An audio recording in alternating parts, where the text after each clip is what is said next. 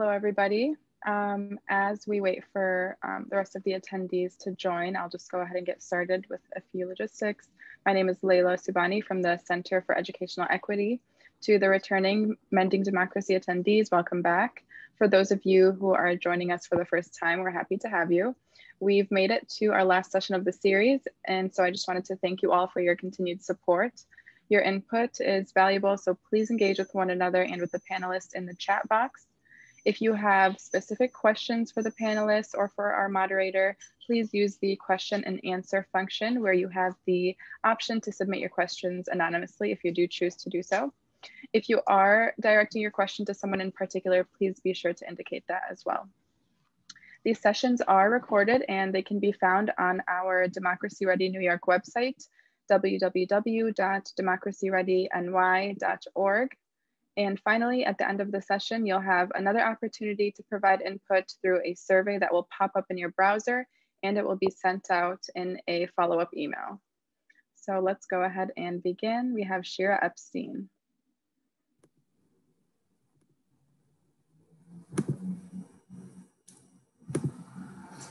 Welcome to the culminating session of Democracy Ready New York's webinar series on teaching civic readiness.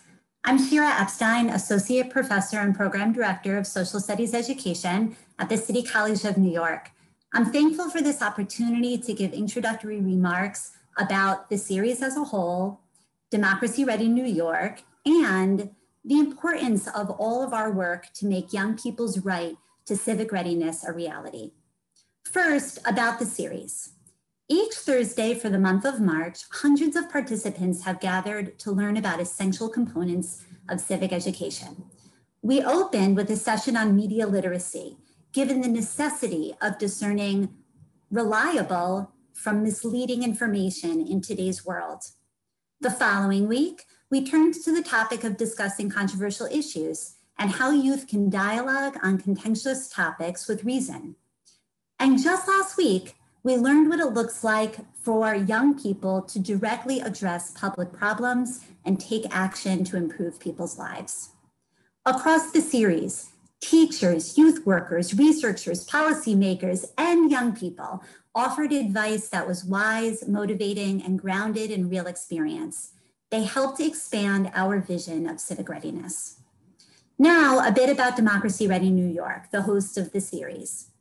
Democracy Ready New York is a relatively new statewide coalition of which I'm honored to be a part. Similar to the diversity of panelists in the webinars, Democracy Ready New York is comprised of multiple groups and individuals, education groups, civic groups, as well as scholars and youth leaders. The aim of the coalition is to work together and with the regions to make civic preparation a reality in New York schools. Our coalition is guided by a vision of young people experiencing multiple opportunities for civic participation. Imagine youth receiving continuous and overlapping invitations from people in their lives to get civically involved. Hey, have you heard about fill in civic question or issue? What do you think? What should we do about this? Then imagine what young people's civic involvement could look like. It could be informed, steeped in knowledge of history, government, and the needs of the, of the current day. Their civic involvement could be skillfully executed through the use of critical reading, argumentative writing and speaking, deliberative practice, and coalition building. And their civic involvement could center authentic experience where they address real issues in their classrooms, schools, and beyond. Imagine young people entering adult civic life having been involved in these ways. They would be ready to cast informed votes, help in their communities, or join or organize a campaign. Please ask yourself what you can do to advance this vision. What role can you play in your communities to ensure that all youth get these invitations, these opportunities to develop civic readiness? This is an all hands on deck moment as we know, this vision is not a reality. Our education system has neglected the teaching of civic readiness. Young people are ready for supportive entry into civic life, but there aren't enough ways to engage. Organized civic learning opportunities are particularly hard to find in rural, urban, and low-income schools, exacerbating long-standing political and civic inequities informed by class, race, and level of education. Take these trends and add what more recent events have confirmed for us, and we know we have a problem. Namely, the events of January 6 illustrate America's vulnerability to misinformation, lack of trust in government, and ignorance of constitutional and democratic values. There is a way forward. The New York Court of Appeals, our state's highest court, has recognized that all students in the state have a right to an education that prepares them to be productive, productive civic participants. The Board of Regents has begun taking steps to implement this right, including the appointing of a task force to develop concrete proposals. And more generally, dialogue in multiple sectors and in the media shows that people are calling for change. And we gain hope from this webinar series itself. We came together to develop more shared knowledge about what civic readiness looks like and why it is important. Today's panel will point us to the future. Can the state prioritize civic readiness for all students with so many critical challenges facing schools in the coming years? How do New York's ongoing inequities in school funding and educational opportunity affect schools' ability to prepare their students for civic participation? Many people made these panels possible, so before we turn to these critical questions and our final session, I have some people to thank. Teachers College, the Carnegie Corporation of New York, Margaret Perman of Real Design Associates, Jeff Heckelman, Center for Educational Equity staff, Leila Subani, Ann Lobu, Arti Doshi, and Jessica Wolf, and all the Democracy Ready New York Coalition members who helped develop the series. I'm now thrilled to turn the mic to Professor Stephanie Rowley, Teachers College Provost, Dean and Vice President for Academic Affairs, and Professor of Psychology and Education, who will moderate our conversation with leaders and decision makers. Thank you, Layla. Sorry, Shira. Uh, thank you for joining us this afternoon for the culminating webinar in the series, Mending the Fabric of Democracy teaching civic readiness. I have so enjoyed watching the others in the series and really look forward to today's conversation. My own research, especially in recent years, has focused on the connection between school curricula and parental socialization on the one hand, and student civic attitudes and engagement and activism on the other. My work shows that both parents and schools are critical sources of information about how social and political systems work and students, armed with knowledge of the history and functions of these systems, are inspired to get involved in their own communities. Thus, access to high quality civic engagement, civic education is critical to developing an engaged citizen, citizenry and for community uplift. At Teachers College, we aim to create partnerships for a smarter, healthier, more equitable, and just world. And so we're proud to be part of this important effort to promote civic readiness for all New York students. Our amazing panelists for today are leaders who can shape how we move forward to prepare students for civic participation. We're looking forward to hearing their ideas and responses to the recommendations for action made in the preceding webinars. Tracy Jordan is a public school parent leader, an attorney and graduate student in educational psychology. Tracy immigrated from Barbados as a child and attended school in Flatbush, Brooklyn. She's now raising her six year old daughter in the same Brooklyn school district, where she's an active Parent Association board member and works with the Alliance for Quality Education as an education warrior. Shelley Mayer has served in the New York State Senate since April 2018, representing the 37th district in Westchester. She's currently chair of the Senate Education Committee. Prior to the Senate, she served in the State Assembly for six years. Senator Mayer has been a champion for education issues and public schools throughout her time in the state legislature. Michael Rebell is professor of law and education practice at Teachers College and executive director of the Center for Educational Equity, which convenes Democracy Ready New York. He's a renowned education law scholar and litigator, known for CFE versus state, the landmark school funding case, and more recently, Cook versus Raimondo, a case that seeks to establish a right to education for civic participation under the US Constitution.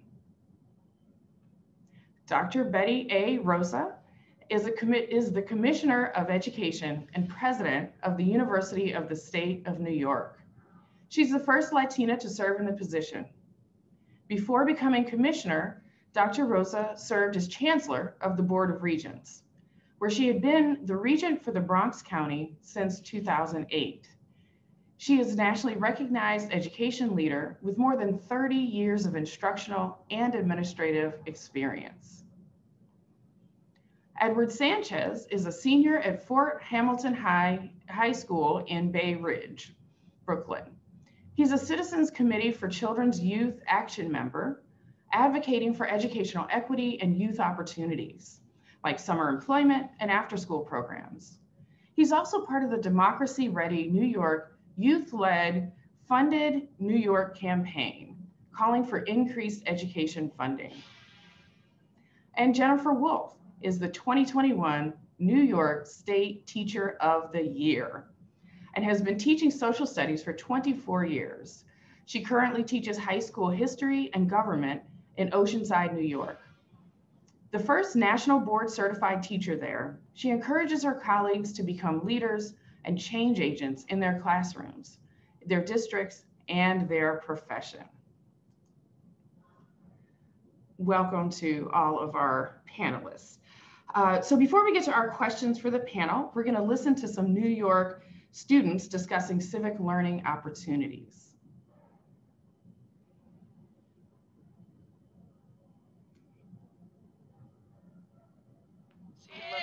This is what democracy looks like. This is what democracy looks like. democracy looks like. This is what democracy looks like. How important is media literacy to a student becoming a good critical thinker and more civically engaged in their community in general? Just in everyday life, you need to learn how to research proper things. If you want to participate in our democracy or any democracy, you need to be educated to kind of participate in that. When you're online, there's a lot of things that you kind of have to tell from real to fake, especially in articles. I actually took a class last year that was based solely on how to do proper research. And it was an elective course, and I sort of wish it was more something that everyone got to partake in. And when you say you'd like uh, topics that sort of don't have a necessarily correct answer, what kind of topics would those include? Like we normally learn about issues in history, I think what we should be talking about is how we can prevent us from repeating those mistakes. It just emphasizes the importance of helping to encourage critical thinking with students so that we can sort of analyze solutions, like you said, and ways to improve the society that we live in. Have you had classes that did in-depth lessons on how to do proper research and how to like vet sources? My English class had dedicated a whole unit to media literacy where we essentially just went over like how to know if a source is credible and like how to form opinions based on that. It helped some people. Like you could tell from like that point on that people were at least a little more thoughtful about what kind of articles they'd read. Why do you think it's important that students be civic ready in our democracy and just be prepared in schools to be civic ready? Um, Ed? Just so they can uh, participate in this democracy at all. You you won't get very far if you're not like literate. Um, Lennon, your thoughts? Like last year, I was in this like I said earlier, the Kids Council. And if you're a citizen in school, you grow learning how to be a citizen in other places and in the real world. I think being able to be an active participant in your school community will then make it so that it's much easier for you to make the transition to being an active citizen in your regular community and even in your state and in the nation as a whole. It goes from when you're a child to when you grow up. So you never stop being a citizen. And I think that's something that should be encouraged in schools, whether it be through activism, critical thinking, media literacy. All of these things are very important to the development of students. In America, I'm glad to be in a democracy where I have freedom of speech and I can speak what's on my mind. I think it's really important that we have more discussions like this because, you know, again, this is like, this is kind of what bare bones democracy is, you know, everyone being heard out. And I think it's important.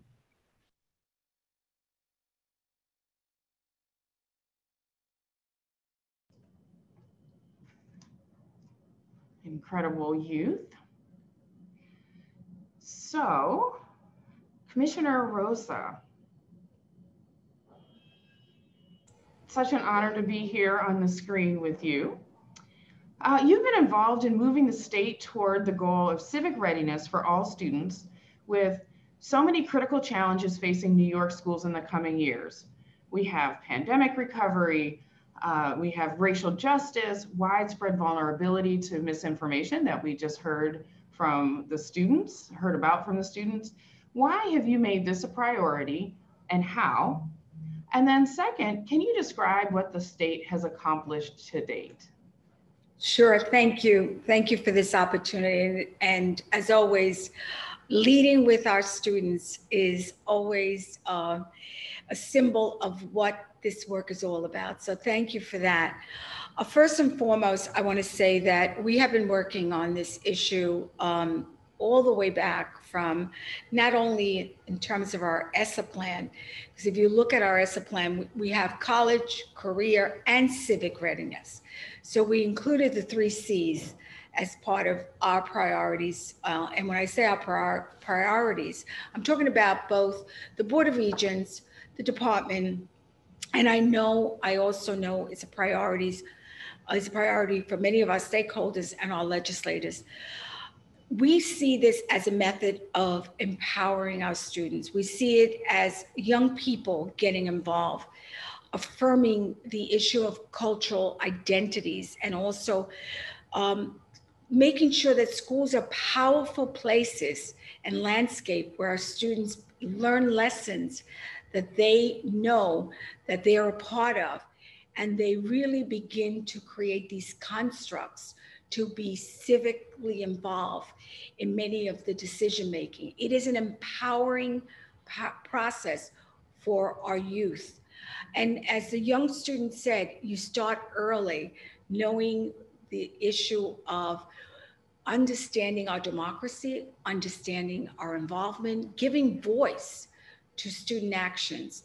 And I truly believe that one of the areas that we've done this uh, for our students in terms of community service, looking at issues of youth civic actions, are My Brother's Keeper. The students have been very intimately involved in not only um, giving voice to issues that are very specific to culturally responsive, sustaining education, but just as important, uh, giving back, being not only having mentors, but being mentors.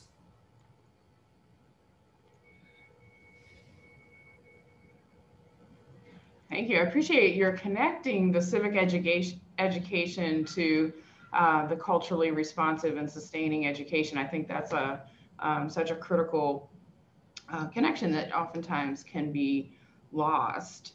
Um, so uh, moving to Edward, Jen, and Tracy for the next question. We all here. Okay. Uh, Edward and Jen, from your vantage point, can you tell us about New York schools' current capacity to provide civic learning opportunities? So, what have you seen? What are the sort of strengths and weaknesses across New York schools in terms of their ability to really develop uh, and deliver high quality civic learning opportunities? Anyone can jump in. You can go first, Edward. I was gonna ask if you would like to go first. All right. so um, to start off, right? Um, so from looking at the current capacity, uh, I think that there could be more, in, more be done in terms of curriculum and awareness towards students in New York City schools, New York schools in in in, in total. Um, as an example, in my school, right, uh, there are resources to be provided when asked for civic education resources, right? But as a strength, I mean, as a strength, I am happy my school has the resources to provide such things, I mean, uh, such resources and have a curriculum that implements civic education, such as uh, my US government class. However, as a weakness, I, as I said before, there could be more done in terms of civic readiness for students, in which awareness and the opportunities given from this curriculum should be encouraged more among students, um, not only in class, but, you know, from an outside class perspective, such as extracurricular uh, projects or activities, uh, internship opportunities, and more. Okay, so you're saying the class is there, but some additional opportunities uh, like maybe after school activities um, and extracurriculars would be helpful? Well, yeah, I mean, I mean, I can just go on and on about this because this has been on my mind. But um, I mean, yeah, in terms of extracurricular, extracurricular activity, you know, you can have clubs, um, you know, clubs that you know school can sponsor to, you know, maybe have meetings with your local Congress, uh, Congress people, um, your count, uh, your council members from your district. You know, more can be done outside of school, um, but of course, you know, as of now, I see that it's great what the New York City, uh, especially here in New York City, like what they have to provide with the uh, Civic for All programs. But as I said, there's always more that can be done. Thank you.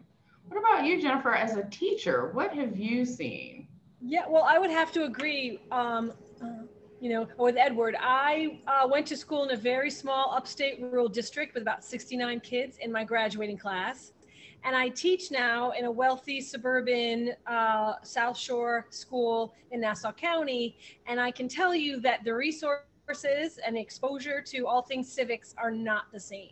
Um, I was lucky that my father insisted that we register to vote and that we vote every time.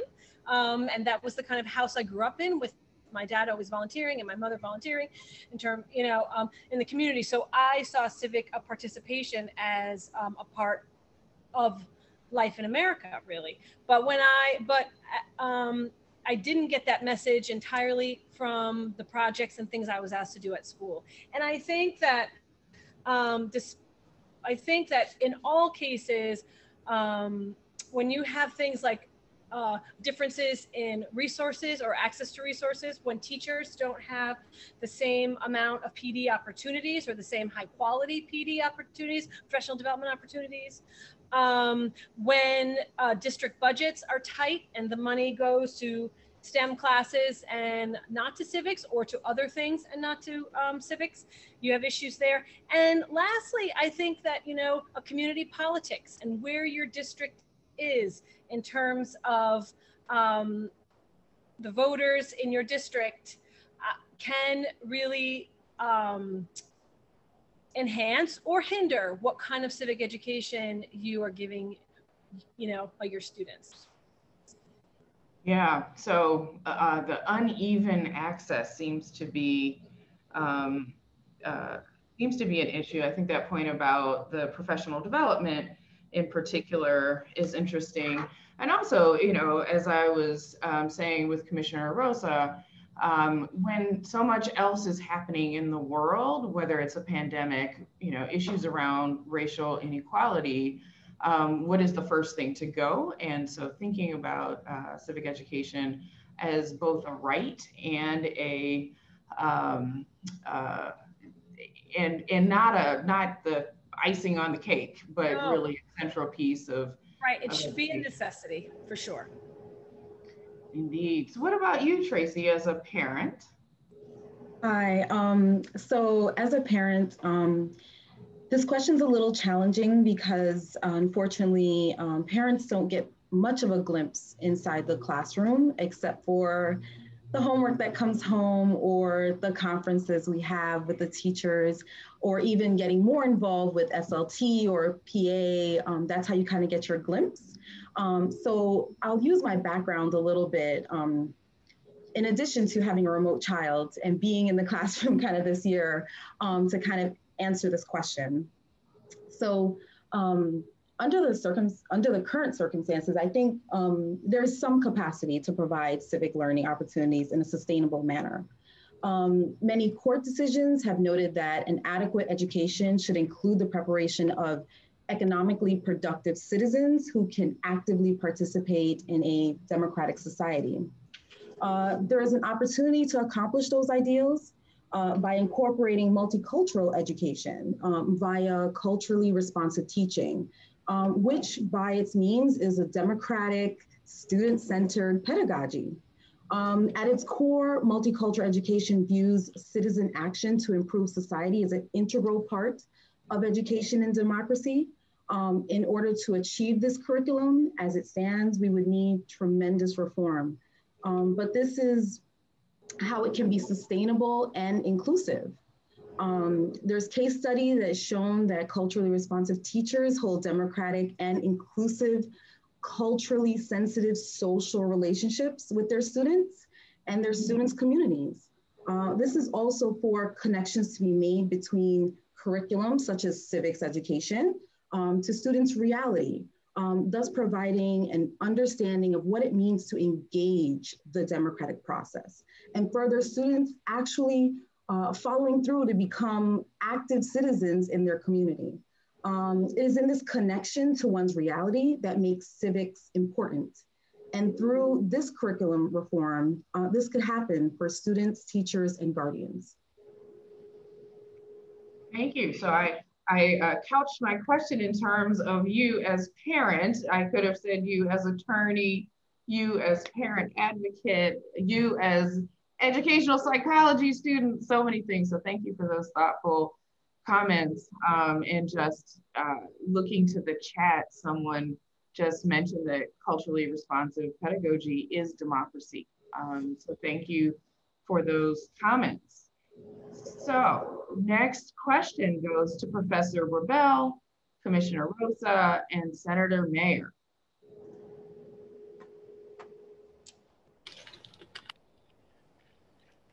been doing some wonderful reading on this topic here, here uh, lately. Thank you to my colleague, uh, Professor Rebell.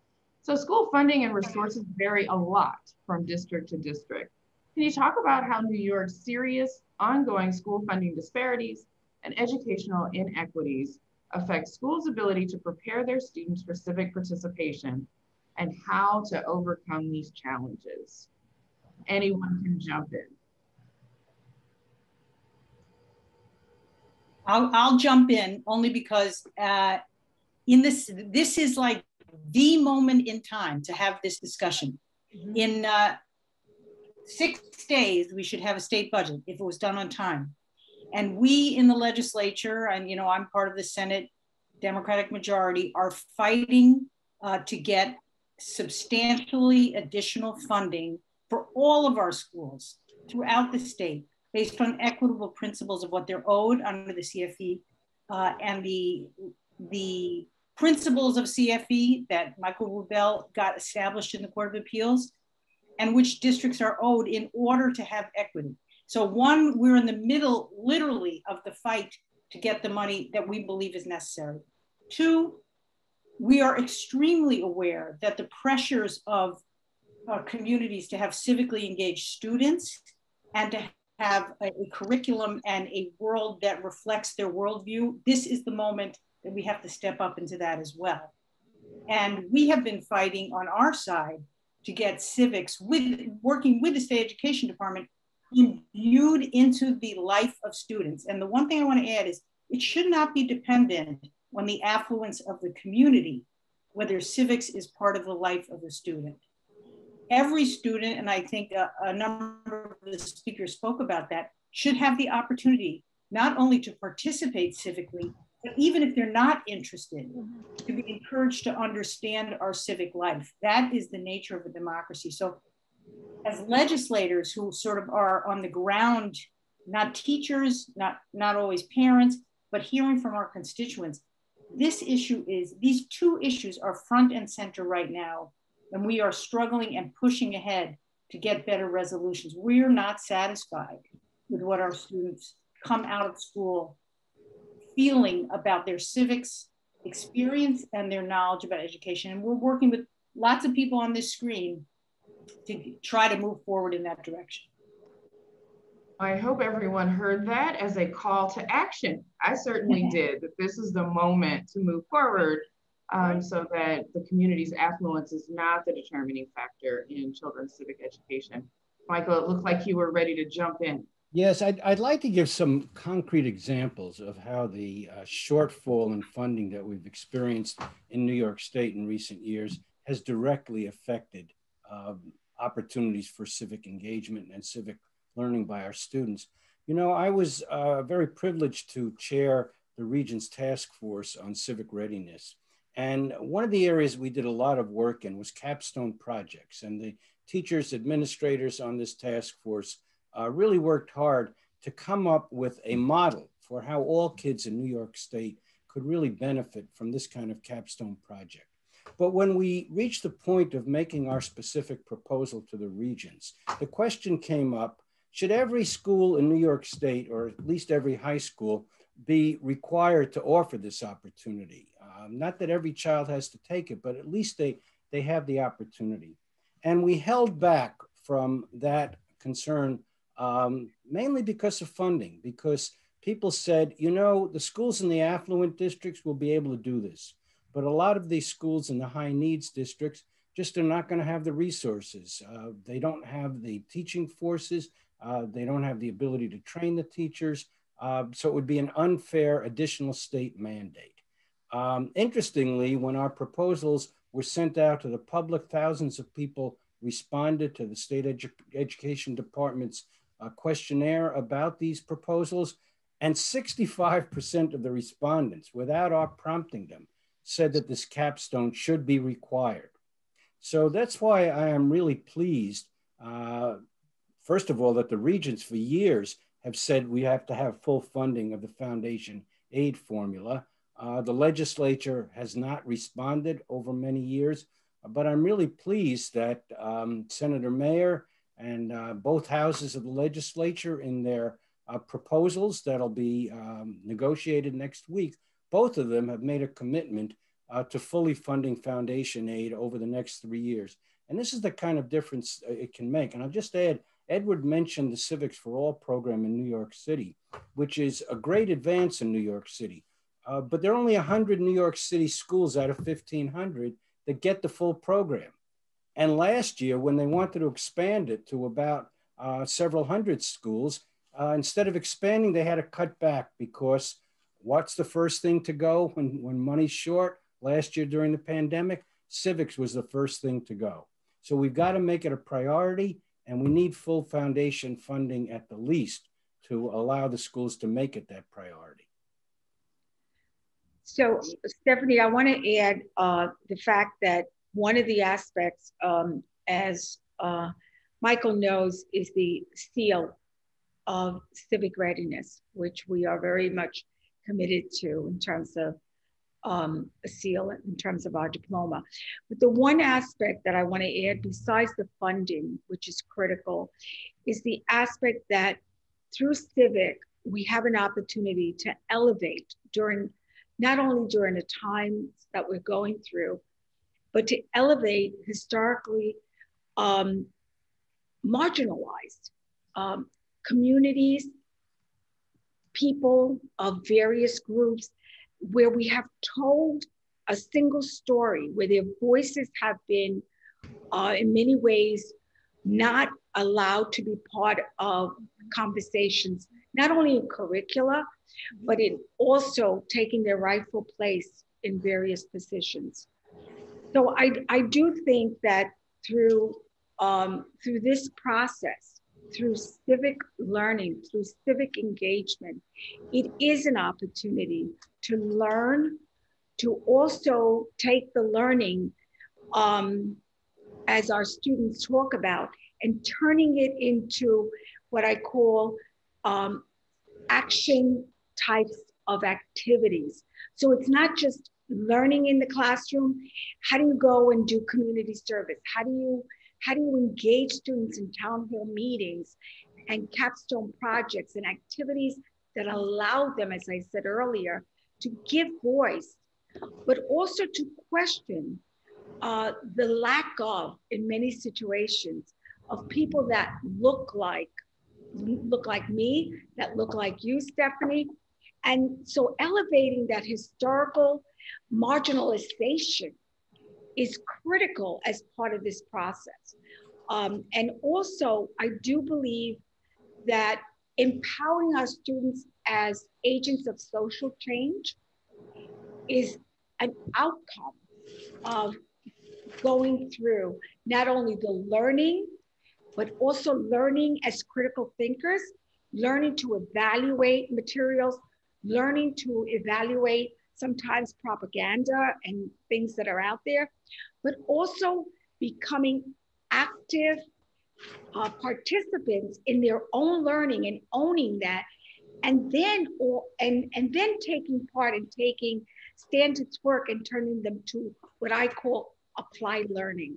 And it is through that applied learning that students really begin to see their role their sense of commitment and their sense of value in these conversations so i truly believe that it is an opportunity to also call out many of the injustices, call out and have opportunities to discuss the, the social injustices that we have and we know that many groups have experienced.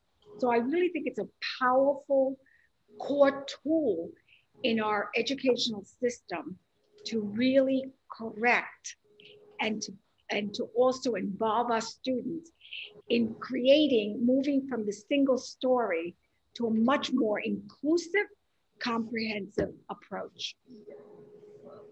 Thank you. So just thinking about these all together, in essence, what you're saying is, ironically, the most uh, marginalized communities could use the funding most in terms of, of actually getting youth engaged those youth will become adults in those communities um, and really make a difference in terms of uh, in terms of the action piece, right? So really getting engaged in their communities. Someone in the chat was just talking about um, the community uplift that comes with civic education. And uh, I really was struck by Edward's comments earlier about how he would really like to have those opportunities to be more engaged in uh, his own community and for his school to provide those opportunities.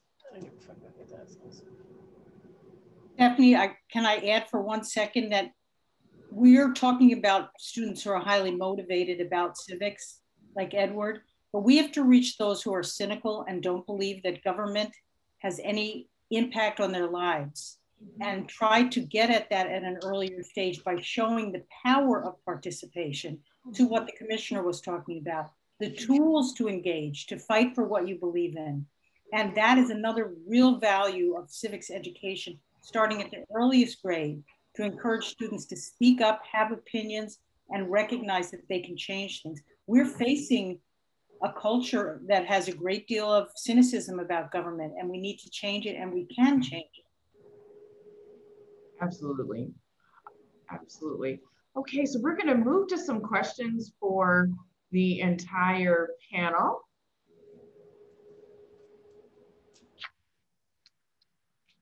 All right, so the mission of Democracy Ready New York is to spur collective action, just talked about action, uh, to help ensure all New York schools can fulfill their civic mission. The webinars have focused on three critical elements of civic readiness, media literacy, discussing controversial issues, and youth civic action. Panelists and participants have recommended actions needed to deliver these important civic learning opportunities to all students. And I would like to invite you to react to some of these. Okay, so um, first, to advance media literacy, Uh, there were three recommendations. One is teacher education programs should require training in media literacy for all prospective teachers. Uh, the second was districts should give leadership roles for school library media specialists in delivering media literacy education and providing PD for teachers. And third, the state should require all students to take courses in media literacy for high school graduation. So media training for prospective students, um, bringing in um, library media specialists for education and PD for teachers, and then also requiring media literacy courses. Any thoughts about these?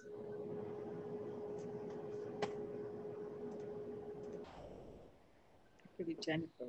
Yeah, I've, I've, got something if you don't mind. I, um, you know, the, the, the, I think that creating another course that is in itself, you know, a siloed course isn't always the best way to affect change. Um, you know, in education, something this serious uh, as media literacy should really be woven into the courses of more than just, a, you know, the social studies classroom. I think that um, it's important to consider that the skills of analysis, evaluation, synthesis, and listening to opposing viewpoints doesn't have to only be um, resting in the social studies classroom. Um, I think it would be super powerful if um, a kid in a science class who's in his earth science class also had an earth science teacher who talked about how you have citizen scientists or you know or professional scientists who speak up in front of Congress or who write letters or who um, help draft, you know, legislation. I mean, that that is some powerful stuff because not every kid likes social studies. I mean, I can't believe it actually. I, it's impossible. But, but it's right. It's impossible. But I think that if we mean it, if we really mean it, and I and I know that the folks, you know, here do, um, it needs to be um, enveloped into all the work that we do. I think we need them to see it from the time that they come, you know, I'm in kindergarten until they graduate, what it means to participate um, in a democracy, to to share our plural narrative, but it's a shared history, you know, um, nonetheless. And you can't just do that in the last five months or the first five months, you know, of the senior year it's too late. Stephanie, I think uh, to to piggyback on what Jennifer said, I think sometimes we tend to create silos and and not integrate. Right. Uh, for example, as soon as Jennifer was, when Jennifer was speaking, I was thinking about kids reading about the various vaccines, right, and understanding the percentages of, you know, how effective is the first one? Why is, you know, why do we only have the Johnson Johnson is one? You know, so in in the in the science area in the mathematics area and in all across i think too too many times we take these the the what i call um, our schooling and teaching and learning and create these silos rather than realizing that there's such integration. This uh, we really need to get to a place that we begin to create these intersections, this connectivity to the various subject areas, and they're all interconnected. So that the media literacy, in the people who are in this field can support, they can act as a resource, a support system for embedding and understanding and being critical, as I said, as you go through, you know, how do you develop uh, a, a critical landscape to have, help our students. Edward said something that was very striking to me. He said, You know, I learned about this subject, but when does he turn it into an action or when does he apply it? When does he turn it into an activity that allows him to go into the community, let's say through community service, and understand what it means to um, even be as as as a senator said even those individuals that are skeptical about government and being a participant in in hearing the voices of those that really do not believe and bringing messages that can create a healthy debate. I love students that engage in town hall meetings with, you know, doing research, looking at various ways to argue. You know, we have the mock assembly up here that our, our students uh, engage in. Those are activities that allow the students not only to read about it, to study it, but to apply it. And then apply it in a safe space that we call schools, but then go into, into the community or go into mentorship, internships, where they really get to test, you know, that level of learning. So I would say to Jennifer's point that that this has to be an integrated, interconnected process rather than creating another coursework, another silo, another thing that people have to take, but rather seeing it as a comprehensive way of looking at our, our democracy and the various ways that as critical thinkers, as, as our students become involved learners in finding their own voices and being participants and powerful change agents, that we really give them the tools to be able to do that at a larger scale. And that's what I would submit rather than, you know, adding for us, it would be another certification, another course. I, I would submit that we really have to look at this in a very integrated way. You know, if you don't mind, I'd, I'd like to pick up on what the commissioner and Jen both said about integrating um, media literacy skills throughout the curriculum. Um, for that to happen, I think we really have to pay some attention to this recommendation for more library media specialists. They're the people who can not only teach students directly, um, but really can do the professional development to make sure that not only the social studies teachers, but the English teachers and the math teachers and everyone else uh, can take part in this. Uh, we actually have a regulation of the commissioner that says every secondary school in New York State should have a library media specialist. But now I come back to that subject of funding shortfalls because since there are not enough funds, and it always seems that civic education is at the bottom of the totem pole when it comes to what the priorities are. About half the schools in New York City I know do not have library media specialists. Uh, so this is where all these concerns come together and talk about what we can do. We can have the kind of media literacy environment uh, that Jen is talking about, that the commission is talking about, um, if uh, Senator Mayer and her colleagues can pass that budget that they're proposing and get us the full foundation aid.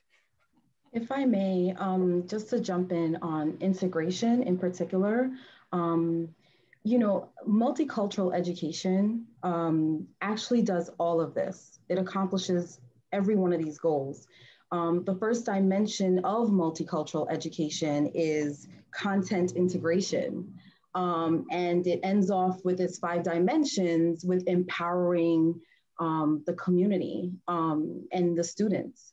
So I would argue that multicultural education brings all of these things the history, which is relevant to the cultures, the various cultures that may or may not be in the classrooms, um, and when a child can hear about its own culture and have that integrated into the classroom, especially when it comes to the civil rights movement, um, which is what really spurred uh, multicultural education, it will motivate uh, children to do what we are talking about today. Um, I think that's a, a, a, part that's possibly missing is motivation. When people can hear about how these rights have been trampled in the past and continue to be trampled, we have several states who are passing legislation currently to wipe away um, voting rights. Um, when we can empower students with that kind of education, it will ignite them to want to go out and, and march in the streets, so so be it, um, peacefully, um, and have a say. So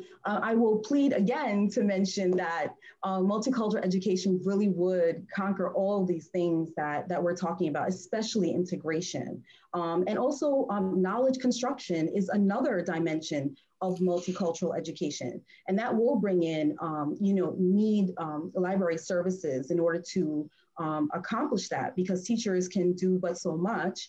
Um, they can lean on and bring in um, the library personnel um, that Mr. Rebell was speaking about. Um, but I think it accomplishes all of this. It has to be relevant. It has to be relevant. It has to be reality. Um, it can't be up in the air. It can't be this possible thing that could or could not happen. We, I think we, we have concrete examples of when you don't get involved, what happens. And, and, and so, you know, there's there, there should be no fear in also bringing parents into that and sending children home to have a conversation with their parents and bringing their parents into that because we know in New York City, you know, our voting rate is quite low. Um, and so it can be raised if we're having these conversations, not only in the classroom, but letting it spill over. Let the children talk to their parents while they're in a grocery store and let the neighbors overhear this conversation happening. And, and that will help us also understand the importance of education because where would that have come from? Our schools. It comes from our schools. Our schools are, are supporting this conversation. Um, so I, I think I think that may be another um, aspect to consider. I just wanted to add on really quickly about what, especially what Commissioner Rosa said. Um, the idea that from our current curriculum from civic education, how is it going to be encouraged and to the students such as me? And is it encouraged for us to be able to apply that in school and outside school? Um, I like to go on the record that that really hasn't happened in my school. Um, and especially uh, throughout my high school year, and you know, when I was a freshman year, I wish I could take the class since freshman year.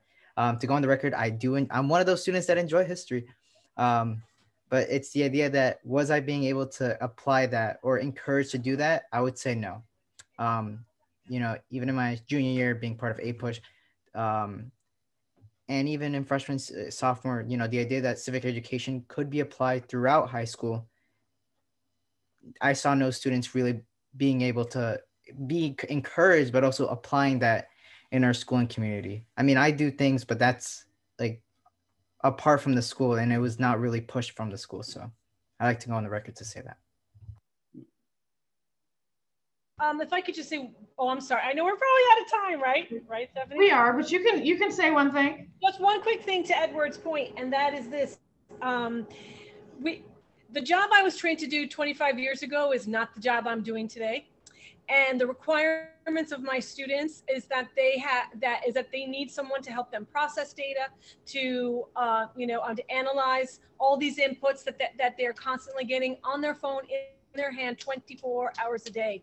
And our job at least as i see it is to is to be you know, a facilitator, a project manager to encourage my students to ask important questions, to deepen their knowledge, and then let them go.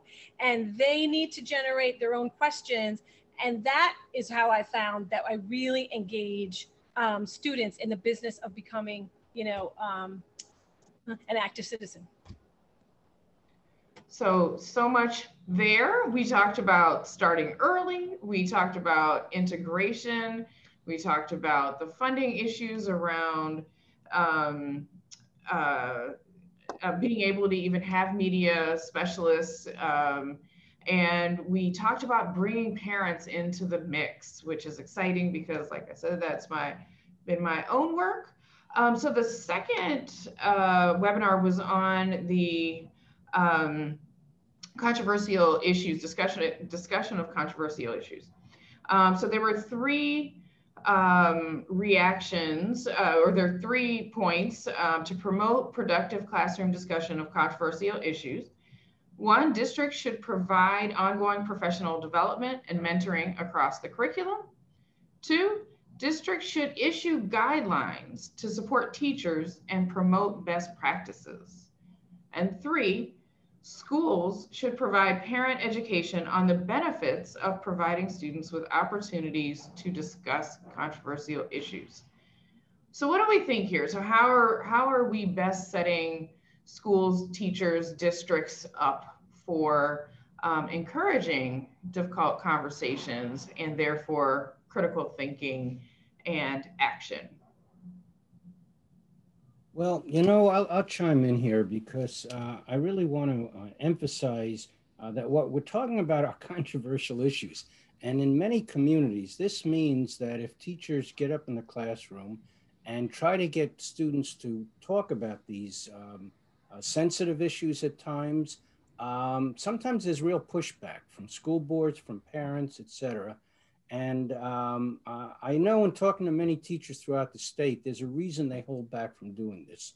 Uh, they don't want to deal with that pushback. So I think one of the most critical things here, in addition to the professional development, because teachers need to know the techniques to how to deal with students in these sensitive areas and make sure that uh, you get uh, tolerance and understanding and not racial confrontation, et cetera, et cetera. But beyond that, this is something school boards can do and need to do. And I would really appeal to all the school board members who may be listening. Um, you really should sit down and actively pass a resolution that encourages uh, teachers to deal with controversial issues in the classroom and hear parents out at the school board meetings about their concerns about this. There are ways of setting parameters. You know, it doesn't have to be every controversial issue. If there's an explosive issue in the community, avoid that one. But there are plenty of other controversial issues that can get students to understand uh, what uh, building tolerance, empathy for talking with people with different viewpoints from yours really means. So this is something I think every school board in New York State can make a real difference on. Yeah, I couldn't agree with Michael more. That was that was that was really beautifully said. I I I know in Oceanside that I've been lucky. Um, the day after Columbine, I had um, my um, my tenure observation. And I had a whole thing going with posters and things I was going to do. And I took one look at my students and I knew that couldn't be done.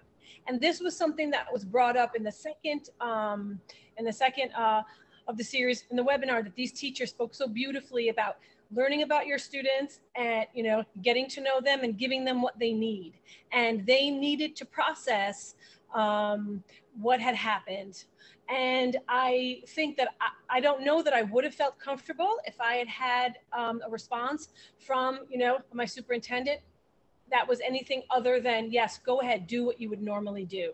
And I don't think a lot of teachers are, um, are working in an environment where they feel, you know, protected. And that's something that has to be discussed because we have lots of parents who send us lots of emails about how they don't want their kids talking about these topics in school and that politics and school don't mix. I just want to jump in for a minute and say, you know, one is I, I wholeheartedly agree with Michael in districts that have boards of education. Uh, they need to really step into this field. This is the opportunity to be a grown up and to exercise the best of democracy, which is to say we can have civic engagement, we can have disagreement without the current tone of hostility and hatred that we see in political life. It's, it's really, we have to change that at a more uh, granular level of the way kids learn to disagree. And Edward, I so appreciate that you want to get out and do things. Um, we need many more of that, but we have districts that are absolutely in fear of taking on anything controversial. But we live in a controversial time, so we need people to model good behavior about disagreement, which is to engage in disagreement, to have civil discourse, and, and then to try to walk away without, you know, trying to be enemies for life. Uh, so I find that that would be very helpful at the board level. I also think it has to do with the leadership of a school. And I think the commissioner would agree. You can walk into a building and see where disagreement is tolerated and encouraged. And you can walk into a, a building where you see everything is sort of held down and there is no um, energy for, for disagreement and discourse and civic activity. So I think leadership at the principal level continues to be a very important thing in individual schools and sets a tone for what subjects are uh, acceptable subjects of dis discussion. And thirdly, if you're not willing to talk about race and ethnicity and tension in our society, uh, you know that is those are the issues before our society right now, and you need people who are willing to talk about it. And to Jennifer's point, it, schools were different 25 years ago, but this is the moment we're in, and we're so appreciative to have teachers like Jennifer who are willing to walk into it and say, let's talk about these things now. We cannot hide and pretend we are in the 50s. That time has passed. Well, and, and Stephanie, I, I do think that um, to the senator's point, I think there's a lot of fear and fear paralyzes any any any kind of movement that is grounded in fear um, comes you know becomes paralyzed. I think uh, i think we really have to think of courageous leaders courageous um, individuals that really can have these courageous conversations. And we need to have them. We can't uh, we can't walk away from the fact that there are many um, issues in language that we even use in schools and in society that we need to call out. We need to have um, ways and uh, mechanisms to have these conversations respectfully, but know that there are pain points and there are differences uh, that we're all living with and these differences can sometimes, and most of the time, inform your lens, the way you look at the world. And it's okay for people to say, you know, you may never have walked in, in my shoes, but I fully respect the fact that you understand, you have an, un, an understanding of what I go through or what I feel or what I have experienced and then start from there and have those open conversations. If we don't teach our young people, our generation, how to have these discussions, debates, agree to disagree, have the opportunities to teach each other and to learn from each other and to do it in a way that is safe and schools are supposed to be fertile, safe grounds for our young people to experience these issues. Then I think in many ways we are we are giving our young students a limited experience, a limited perspective. And believe it or not, in some ways, when they go into different communities or different different positions or different spaces, colleges, whatever, they are not prepared to really engage in these tough, sometimes conversations. So I really, really think that yes, you can you can have board, you know, you can have boards of education, but you need beyond that. You know, to Senator Mayer's point and and to Jen's point, you need courageous leaders that are willing to open up the super highway of conversations and getting us to a place that we truly can really see what tomorrow can look like when we can learn from each other, respect each other, but know that everybody has had a different experience and can share those pain points historically as well as their own personal experience in terms of their own journey. Thank you. Uh, so important. So I, I heard that we do need policies to make sure that folks are, are headed in the right direction and there's some accountability, that we need leadership and courageous leadership, um, that we also need school boards, um, but we also need training. So um, Anne just asked the question of how teachers are learning these things. And, you know, as a psychologist myself, I think it takes tremendous practice in dialogue. And so, what a treat for our students to be able to get that training and practice while they're young. Um, but I will say, even at Teachers College, we are working on how to have difficult classroom conversations and how to get past that fear. Um, and so it's a it's such a, an important issue. So we need to turn to our third webinar on promoting youth civic action and community service. I feel like we've talked about some of these already, um, but the three recommendations were to increase access to ex experiential civic learning opportunities like community service, internships in the public sector, youth civic action in all schools and communities.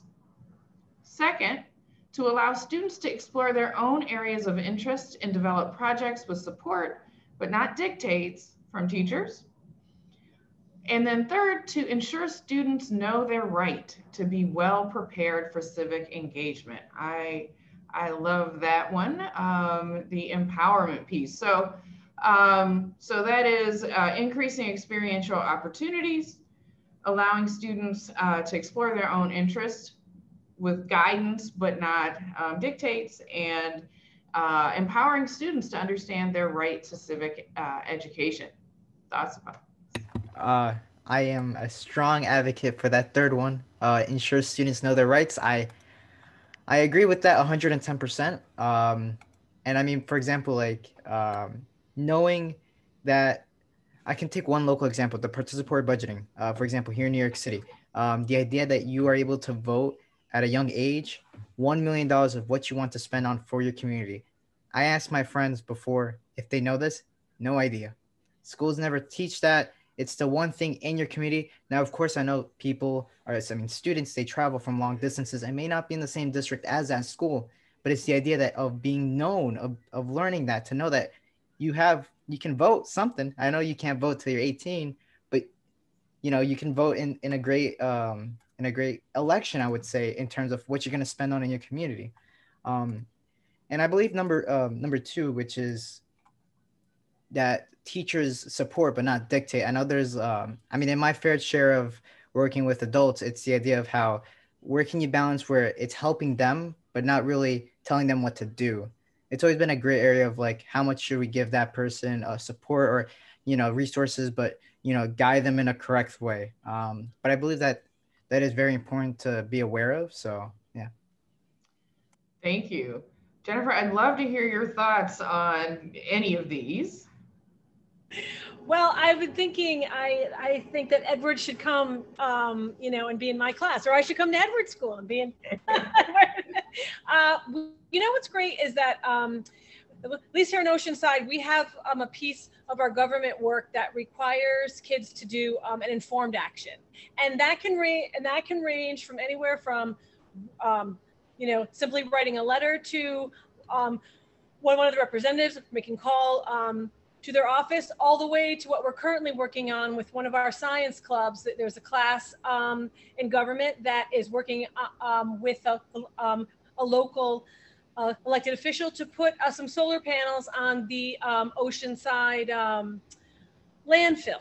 And they you know the kids have been working on various aspects of that all the way from pr to speaking with uh, you know uh, with, with the elected officials to putting, uh, you know, to figuring out which of this, um, you know, the solar panels are the best ones to put on the mound. So, so, so we encourage our students to get out there and do stuff because we've have found, and maybe um, this is unique to Oceanside, but I find that the kids are so used to being passive receivers of information that to get them excited about engaging in civics, it's got to be something that they are actually already excited about, right? And um, so we've been doing a lot of that work here in Oceanside. I encourage my students to talk all the time. I know that some of them tend to think that I uh, lean a little bit towards the left. So I always encourage, you know, all the voices. And I say a million times, it doesn't, we're all entitled to our own opinion, but not to our own facts. And we need to think about, you know, how we, um, that we're tough on ideas, but that we're soft on people. So practice that as much as I can, you know. so you know, since we're speaking of rights, I'd just like to chime in. There's been a mention of the CFE case several times, and uh, the Court of Appeals, our highest court, did um, uh, issue an order in, in that case that a lot more money has to be spent by the state. Um, but they did something else. Uh, they defined what the purpose of education is uh, under the New York State Constitution. And they said the main purpose of education is to provide students the skills they need to function productively as civic participants. That's a constitutional right. And I, I just want all the students out there and all the parents out there to know this because I'm always shocked that so few people know there actually is a constitutional right that every, every kid in New York State has to get a proper civic education. And if your school's not giving it to you, you have a right to ask for it. And that can be the first step in youth engagement. in making sure that your right to a good civic education is being honored in your school. So I'm just going to stick in my two cents worth on defining for students what that right is. And it's a tool that you can use to follow up anything you may have heard today or anything, uh, any other aspect of civic education that you think is important, opportunities that you think you need. You do have a right to them. Thank you. So we're going to move on to our lightning round. All right. So this is all about the actions that different stakeholders take to develop all students in every school throughout New York to develop civic readiness. Okay, so back to Jen. What do teachers need and need to support civic readiness? What advice would you give to teachers to move the state towards civic readiness for all students?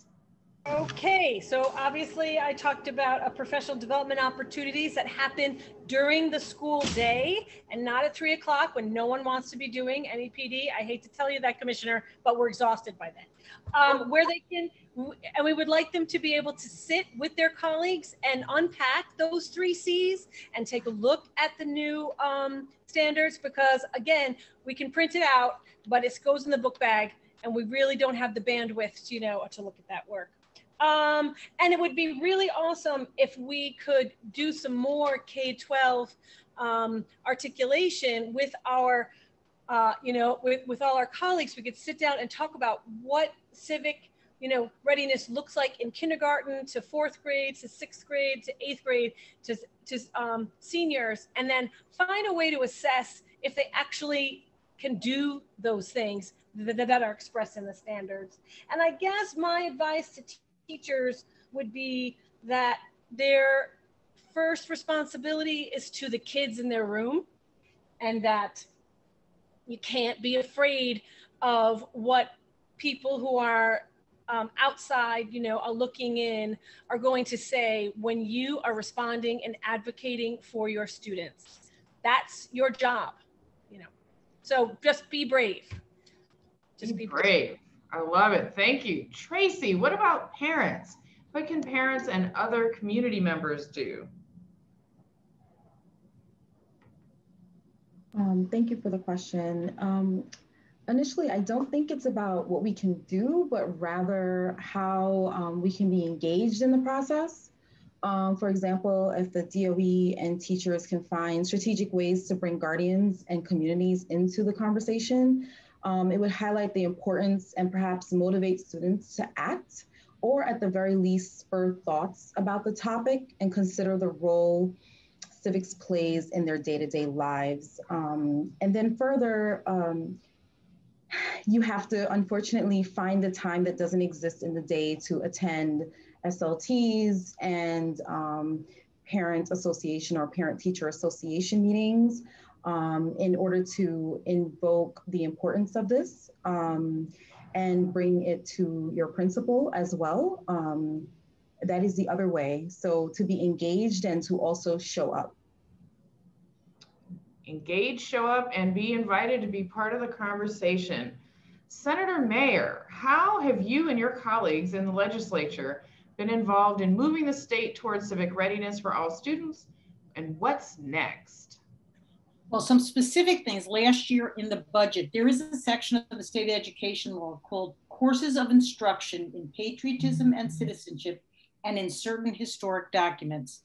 It's a little bit of inside baseball, but we got the words uh, that civic education and values, our shared history of diversity, the role of re- religious tolerance in this country to be included last year in the budget in that section.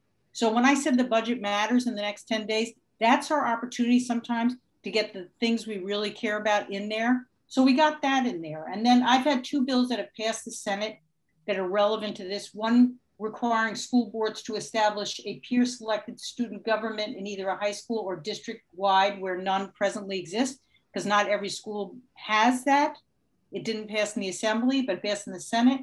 I have a bill that has passed uh, every year for the last three years to establish a voter pre-registration program in high school for eligible 16 and 17 year olds who can pre-register now uh, with expanded election law provisions that we adopted so that you're not dependent on an active parent group to come in and set up a table, but this is the school's responsibility as part of civic preparedness to get uh, them in there. And then this year, we are really fighting to get additional language in uh, the budget that reflects our commitment to ensuring these issues of racial equity in terms of our curriculum and uh, diversity of the American experience is included, not in a single course, but embedded into the educational uh, fabric of our schools from pre-K to 12th grade. And we're working closely with the commissioner to try to find a path forward. But um, we are very, very committed to seeing that that's part of the conversation this year, as well as money. I left money out, but I started with money, so money's money is always good. Thank you, Senator Mayer. I know you have to step off in a moment. I have really enjoyed hearing your about your work. Thank you so much. Thank you, Stephanie. Appreciate it. And uh, Commissioner Rosa, what's next for NYSED in advancing and supporting student civic readiness?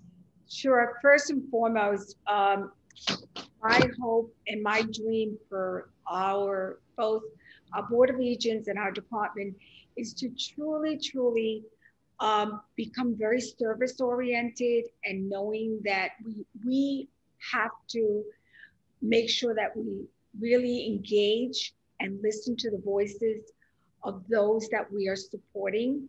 And part of that is through one, through listening, through modeling. It's important that our behavior and the outcomes really align with what we say we want to happen. The other, the other issue is uh, obviously we're constantly engaging guidance and, and that guidance has to be work that's done to change the narrative. And that, and that changing of the narrative obviously is not only looking at the issue of civic engagement, but also the issue of being culturally responsive and the issue of community involvement, student engagement, all those elements have to become part of the conversation. And they have to become part of the conversation as a, a pathway to really, truly have an institution that really gives um, communities, particularly communities of color, um, and all communities, but those that have been marginalized, an opportunity to really be part of that narrative. It is so important that if we're in this together, we're in this together. And again, I, I reference back to the issue that we have to move away from the single story, but look at the contributions, look at beyond the contributions, the, the opportunities to learn from one another and to really value and see at the core the fact that all of us, all of us together are much, much stronger than some of us doing this work.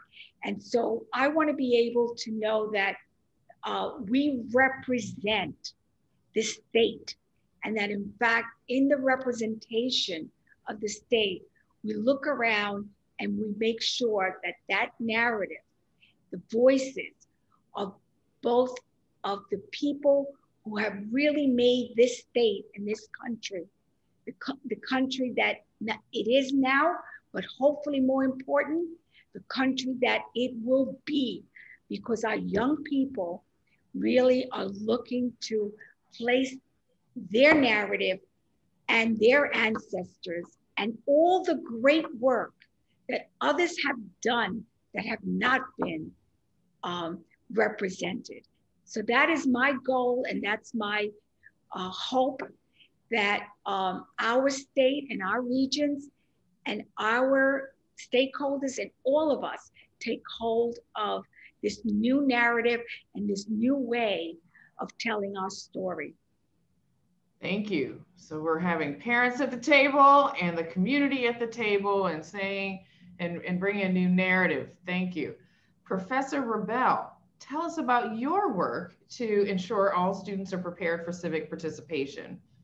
Well, I think uh, some of the most important work I've been trying to do in New York State is with our wonderful Democracy Ready Coalition.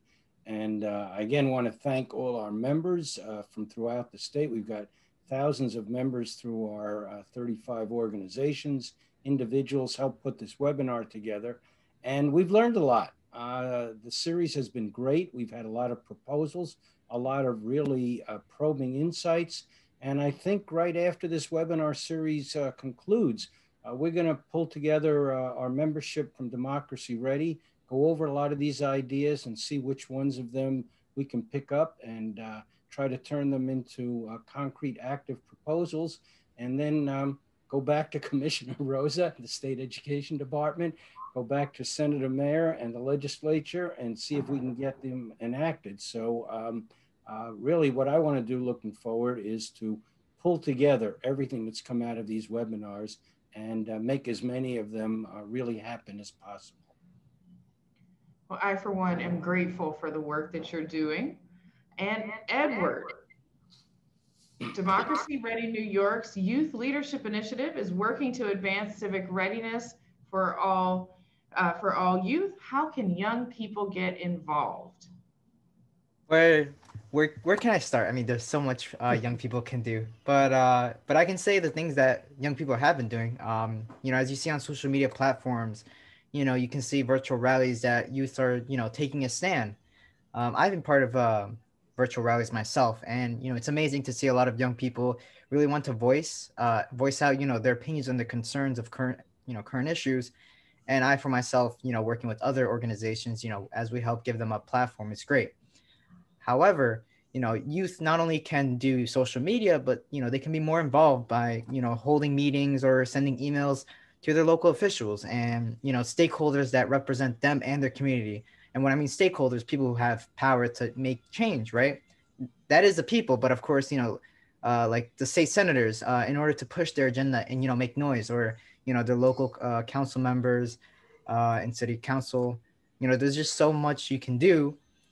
As I said, there's just way too much to list off, but those are like the main ideas that I can give you.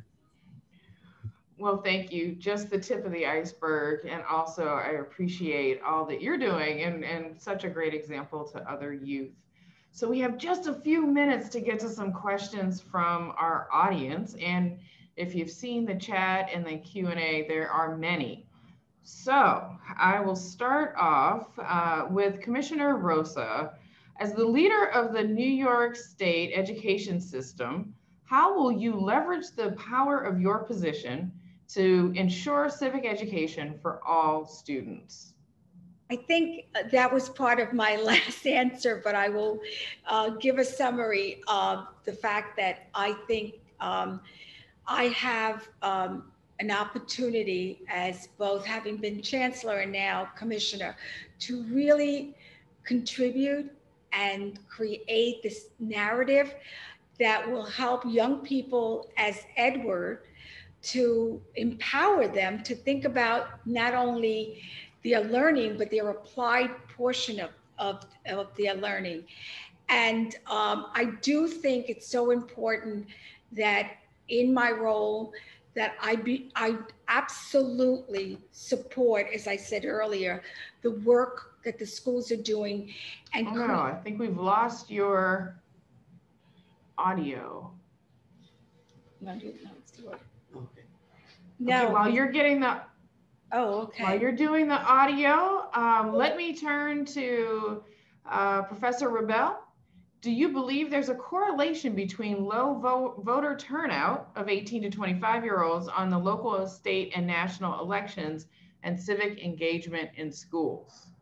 Oh, definitely, definitely. Uh, I think there have been uh, numerous studies uh, that have shown that students who are active in school in the way Edward was saying that he would like to be, uh, students who take part in extracurricular activities, um, they do vote more often and more early. Um, so uh, there's a definite tie-in. Yes.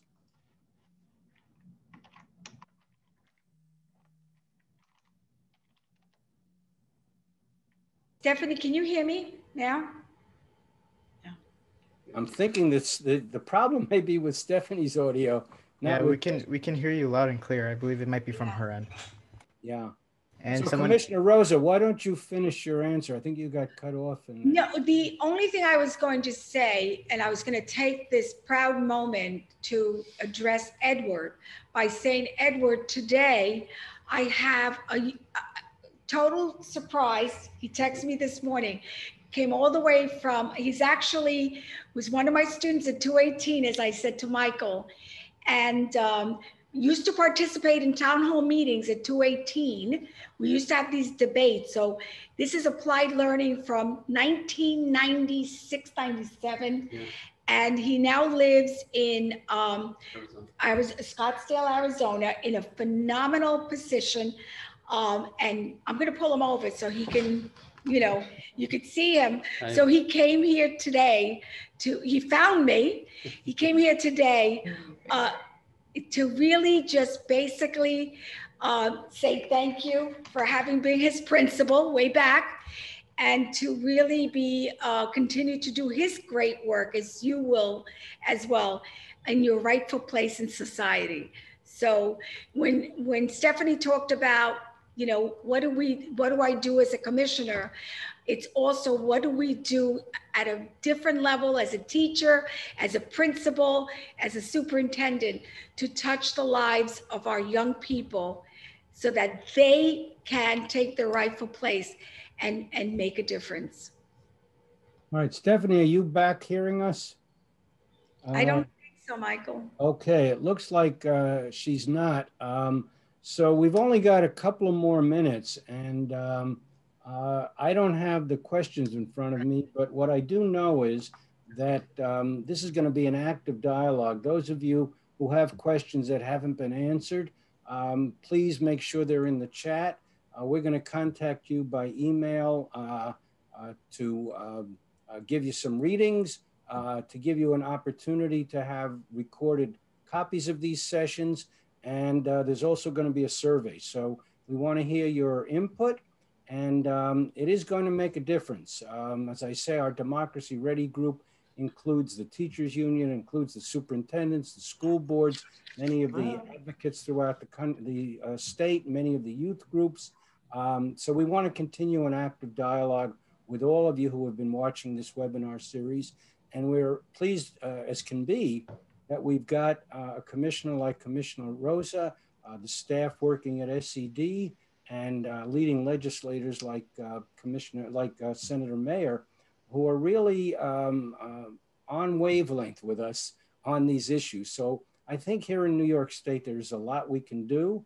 Um, and I, uh, I just want to, again, commend the commissioner and the regents for having restated what the purpose of education is in New York State. Most states say the outcome of education should be making kids college and career ready. In New York, our regents and our commissioner have made it the official policy that kids should be college, career, and civically ready. And uh, all of us can work toward that end. So thank you all for watching and um, good evening.